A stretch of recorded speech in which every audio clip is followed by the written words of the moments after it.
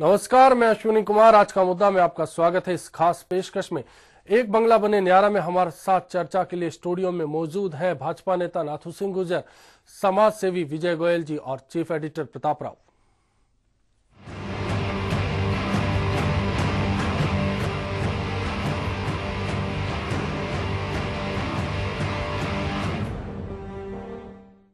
दरअसल हर बड़े शहर में बाहर से आने वाले लोगों का एक सपना होता है, एक बंगला, न्यारा सा।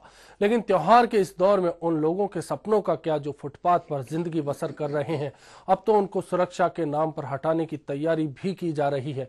आखिर क्यों लाखों करोड़ों की तादाद में हमारे देश में ऐसे लोग शुमार होते हैं? चर्चा करेंगे, लेकिन पहले देखते हैं ये रिपोर्ट। तो बंगला बने बंगला बने न्यारा। रहे कुन बाज सुने सारा। एक बंगला बने न्यारा। गरीब, बेघर और फुटपाथों पर सोने वालों का दर्द कभी नहीं सुना जाता। अगर सुना जाता तो देश की एक बहुत बड़ी आबादी बेघरों की तरह ज़िंदगी नागुजार थी। फुटपाथों पर अपना बसेरा बनाने के लिए मजबूर न होती। कहते हैं अपने सपनों को पूरा करने के लिए, अपना घरौंदा बनाने के लिए, अपना आसियाना बनाने के लिए गाँव कस्बों और छोटे शहरों के लोग महानगरों और बड़े शहरों का रुख करते हैं। दिल में बस एक ही मुराद होती है, एक बंगला बने न्यारा। लेकिन दशकों तक की ज़िंदगी गुजार लेने के बाद भी वे अपना आसियाना नहीं बना पाते हैं। ये कभी रिक्शा ढोने वाले होते हैं, कभी बोझा उठाने वाले और कभी मजदूर। ये है राजस्थान की राजधानी जयपुर, जिसको 1727 में बसाया गया था। हर तरफ़ गुलाबी रंग से पोते हुए मकान और बंगले यहाँ की पहचान बन गए एक तरफ़ विशाल बहुमंजिला इमारतें हैं, महल बड़ी बड़ी कोठियाँ और बंगले हैं तो दूसरी ओर हैं फ्लाईओवर के नीचे या फुटपाथ पर रातें गुजारते लोग, जिनका कोई भी घर नहीं है। कभी ठंड, कभी गर्मी और कभी बरसात, ये बेघर लोग सर छुपाने के लिए छत ढूंढते रहते हैं। त्योहारों का मौसम आ चुका है। शहर सज रहे हैं, सजावट की जा रही है। जयपुर भी सज रहा है। सफ़ाई, रंगाई, पुताई कर शहर की करीब 40 लाख की आबादी त्योहार की तैयारी कर रही है। बाज़ार में रौनक है। लेकिन इन सब के बीच फुटपाथों पर एक अलग ही भीड़ नज़र आ रही है, जिसकी आबादी करीब दो से ढाई लाख है। जिसका न घर है, न छत, और न ही उसे पता है कि सफ़ाई कहाँ पर करनी है, किस घर को सजाएँ। ये आबादी गाँव और कस्बों से आई हुई है। जब ये आबादी आई थी तो उनका भी एक अरमान था कि वो एक छत बनाए। एक घर बनाए। लेकिन आज तक भी वे बेघर हैं। सालों तक कमाने के बाद भी अपने लिए घर नहीं बना पाए। त्योहारों पर हर कोई अपने घरों में दीपक जलाता है। लेकिन सवाल यही है कि ये बेघर लोग कहाँ पर दीपक जलाएँ? कई बार तो आलम यह हो जाता है कि अतिक्रमण के नाम पर इन बेघर लोगों को फुटपाथों से भी खदेड़ दिया जाता है। ऐसे में सवाल खड़ा होता है कि आखिर ये जाए कहाँ? शहर में करीब 200 समाज सेवी संस्थाएँ बेघरों के लिए काम कर रही हैं, लेकिन इसके बाद भी इनके पास घर नहीं है। ऐसे में सवाल खड़ा होता है कि आखिर क्यों? Bureau report HBC news. चर्चा में खास मेहमान हमारे साथ हैं, प्रताप राव जी भी हैं। प्रताप जी, जिस तरह का ये वाक्य है, एक उदाहरण है हमारे सामने, त्योहार आ रहा है। आखिर क्या आपको क्या लगता है कि समाज के इस तबके का आगे क्या होगा? नहीं, सबसे बड़ी बात यह है कि पूरा देश और हमारे कम से कम जयपुर और राजस्थान, जहाँ दीपावली का त्यौहार बहुत ही बड़े उत्साह के साथ मनाया जाता है, और हम जानते हैं कि हमारे परंपरा है कि जैसे ही दीपावली आती है, हम घरों की सफ़ाई करते हैं, उसकी सजावट के लिए तैयारी करते हैं। लेकिन इसी शहर में एक ऐसा बड़ा तबका है जो ये सोच रहा है कि कहाँ की सफ़ाई करें, कहाँ जाएँगे दीपावली के दिन। जब सड़कों पर ज़्यादा सुरक्षा होगी और विशेष वीआईपी के लिए सुरक्षा होगी तो उन्हें कहाँ बेदखल कर दिया जाएगा। हमारे साथ हैं पूर्व मंत्री नाथू सिंह जी। नाथू सिंह जी, एक बड़ा सवाल है कि पैंसठ साल की आज़ादी के बावजूद बड़ी संख्या में शहरों में आज भी हमारे जयपुर जैसे शहर में भी बेघर बड़ी संख्या में है। आज जब दीपावली पे हम सब लोग तैयारी कर रहे हैं, दिए जलाएँगे, तब एक बड़ी कचोटती है बात कि उन्हीं दीपावली के दिनों में उन बेघर वालों के बच्चे ढूंढ रहे होंगे कि दिए वो कहाँ लगाएँ कहाँ जाके वो पटाखे जलाएँ कहाँ बैठ के वो मिठाई खाएँ किस इलाके की वो सफ़ाई करें। एक बड़ा कचोटती है ये बात। देखिए आपने बहुत बढ़िया प्रश्न उठाया है। शहर को सजाए हमें कोई आपत्ति नहीं है। जी। लेकिन मानवता को अगर सजाया जाएगा तो उससे बेटर होगा। दीपक जलाएँ लेकिन जो लोग भूखे नंगे बेचारे जो गाँव में कस्बों में रहते हैं वो फुटपाथ पर जीवन यापन कर रहे हैं। वो इसलिए आते हैं शहर में फुटपाथ पर रहने को इसलिए मजबूर होते हैं कि उनके पास गाँव में कोई रोज़गार नहीं होता। जी। मनरेगा चला रखी है लेकिन उसमें जमकर भ्रष्टाचार होता है। जी। गरीब लोगों को कोई काम नहीं मिलता जो अप्रोच वाले हैं उनको। अभी आपने रिपोर्ट्स देखी होगी मीडिया में। हम तो रोज ही देखते हैं रोज शिकायत करते हैं कुछ नहीं। मिला हुआ सिस्टम है पूरा। जहाँ पक्के मकान है, उनको बीपीएल में घोषित कर रखा है। और जो गरीब है उनका नाम ही नहीं है बीपीएल में। उनका तो एड्रेस तक नहीं है। एड्रेस तक नहीं है। तो ये एक सिस्टम बन गया। और इस सिस्टम का कारण है जो मशीनरी है सरकारी जिसमें ऑफिसर स्पेशली है। वो उनका एक ही नारा है कि लूटोर खाओ। ये आप भी सत्ता में रहे हैं मंत्री रहे हैं क्या उस दौरान भी ये जो अधिकारी इसी तरह के देखिए जो सरकार पावरफुल होती है जी। या मंत्री दमंग होता है, वो तो इन पे कंट्रोल कर लेता है। लेकिन जनरली इनका एटीट्यूड वैसा ही रहता है जनरली अब वो एटीट्यूड कुछ साल में ये कंट्रोल कर लेती है जो दबंग सरकार है दबंग मंत्री है, उनके इस एटीट्यूड को दबा देते हैं।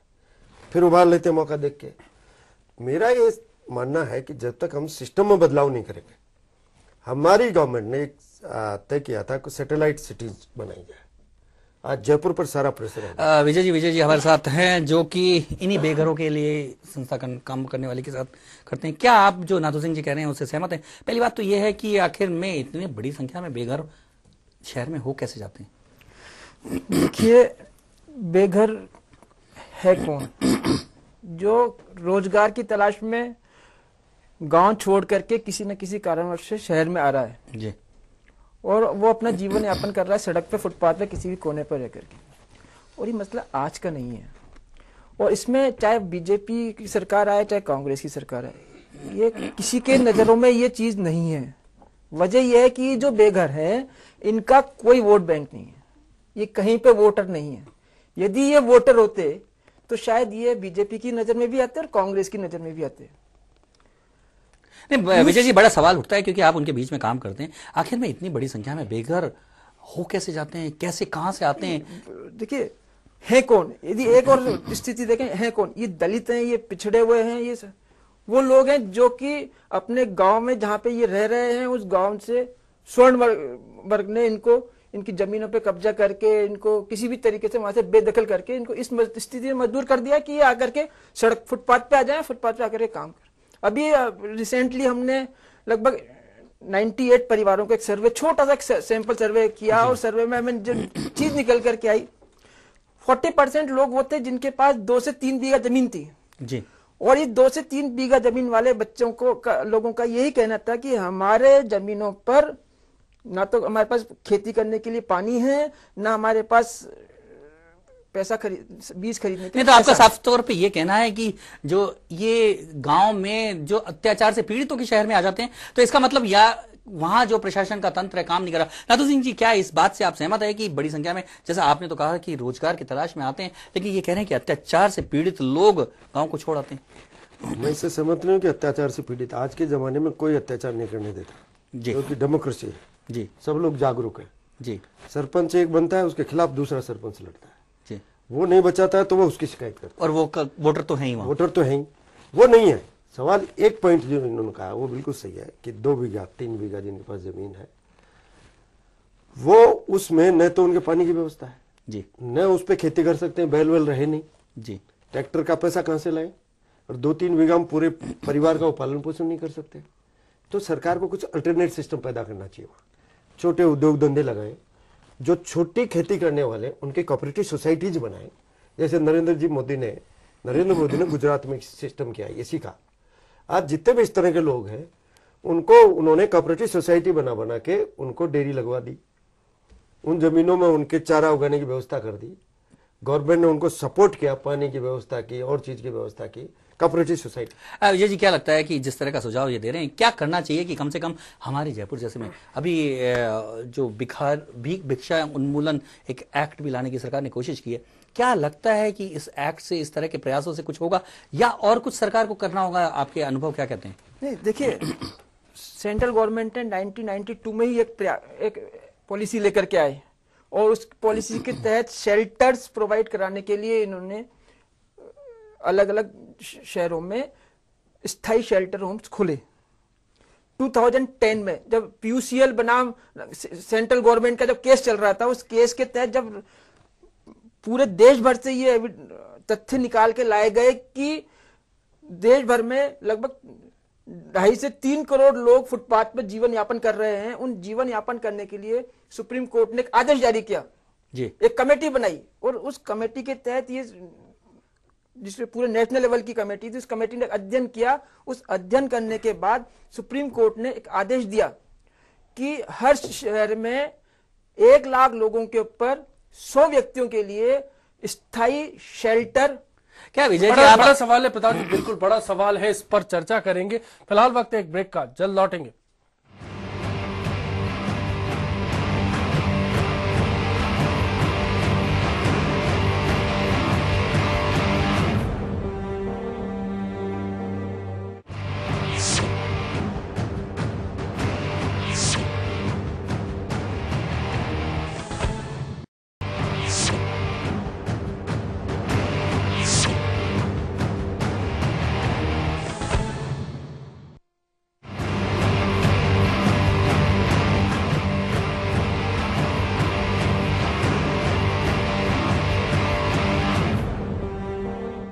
बाद फिर से आपका स्वागत है। अब जानते हैं जनता क्या कहती है? एक बंगला बने न्यारासा के इस सपने को लेकर। आखिर क्यों? कुछ लोगों का यह सपना अधूरा है। गरीबों के साथ ये अत्याचार किया जा रहा है और किया है। घर से बेघर किया है जन इतिहास क्या किया आड़ में हाई कोर्ट की आड़ लेकर। जो लोग यहाँ पे 250 वर्ष से काबिज थे और उनको अतिक्रमण मान के उनके मकानों को तोड़ दिया है। अपनी जगह के हाँ कागज़ से ढाई सौ वर्ष पुराने हमारी छह पीढ़ी उसमें गुजर चुकी हैं। उसके बावजूद भी हम लोगों को वहाँ से ज़बरदस्ती हटाया गया है। तो ये एक बहुत ही एक ज़रूरत है हर इंसान के लिए कि ये आवश्यकता यदि उसकी पूर्ति होती है तो वो कभी भी इधर उधर भटकाव या गलत रास्ते पे नहीं जा सकता है। तो मेरा ये मानना है कि हर व्यक्ति को ये उसका जन्म सिद्ध अधिकार है कि उसको रहने के लिए मकान मिले जनता की राय आ चुकी है। खास मेहमान हमारे साथ है। विजय जी, ब्रेक पर जाने से पहले आपसे बात हो रही थी। सुप्रीम कोर्ट के डायरेक्शंस की बात हो रही थी। आखिर क्या कारण है कि उनका जो शेल्टर देने की बात है, उसका इम्प्लीमेंट नहीं हो पाता? देखिए, सुप्रीम कोर्ट ने जब इस पूरे केस को लेकर के 2010 में अपने आदेश केंद्र सरकार को दिया और उसमें कहा कि एक लाख लोगों के ऊपर सौ व्यक्तियों को आप शेल्टर प्रोवाइड कराएँगे, स्थायी रूप से शेल्टर प्रोवाइड कराएँगे। सिर्फ़ जयपुर का एक उदाहरण ले लेते हैं हम। जयपुर के लिए में करीब इस इस आधार पर 40 लाख की जयपुर की जनसंख्या है। 40 लाख की जनसंख्या के लिए 4000 लोगों के लिए आपको शेल्टर की व्यवस्था करनी है। जी। नहीं लेकिन ऐसा विजय जी बड़ा सवाल ये उठता है कि ये सब सुप्रीम कोर्ट ने डायरेक्शन दे दिया कोर्ट के डायरेक्शन आगे। आखिर में क्यों नहीं हो पाता? राजनीतिक इच्छा शक्ति नहीं है या प्रशासनिक कमज़ोरी है? क्या कारण है? क्या लगता है आपको? दोनों चीज़ें। राजनीतिक इच्छा शक्ति के लिए जैसे मैंने शुरुआत में कहा कि वोट बैंक नहीं है ये इनका ये जिस दिन पार्टी किसी भी पार्टी का वोट बैंक बन जाएगा उस दिन राजनीतिक इच्छा शक्ति जाग जाएगी। पर, पर, पर इनके बीच में एनजीओ बड़े काम करते हैं क्या उन्होंने भी प्रयास नहीं किए कि इनको कहीं ना कहीं देखिए- स्थायी तौर पे कोई मकान की व्यवस्था हो जाए ऐसा कुछ प्रयास किया कभी? कुछ देखिए सरकार कुछ प्रयास किए गए हैं। पूर्व में कुछ तरह के प्रयास किए गए एनजीओ जो काम कर रहे हैं उनके पास क्या साधन है? एनजीओ की डिपेंड है किसी फंड की फंडिंग एजेंसी कोई फंडिंग एजेंसी आएगी कोई उनको फंड देगी। सिंह जी विजय जी कहते हैं कि राजनीतिक इच्छा शक्ति नहीं होती और आप तो राजनेता है और आपकी सरकार आई चाहे कांग्रेस आई कोई भी आए किसी ने भी इन बेघर वो लोगों के लिए और ध्यान नहीं दिया। इसलिए क्योंकि उनके वोट नहीं है और आपको वोट की बड़ी चिंता रहती है। देखिए वोट की चिंता सबको रहती है मैं मानता हूँ। जी। लेकिन हमारी गवर्नमेंट में पंचायत राज मिनिस्टर था rural development panchayat raj minister मैंने जो ये लोग घुमंतु लोग हैं जैसे गाड़िया लोहार जी। या सड़कों पर पड़े रहने वाले लोग। मैंने डायरेक्शन दिया पंचायतों को कि इनको ज़मीन अलॉट करो रहने के लिए। जी। और कई जगह हमने अलॉट की। अलॉट करने के बाद उसको बेच गए और फिर भाग गए। क्या किया जाए इसके?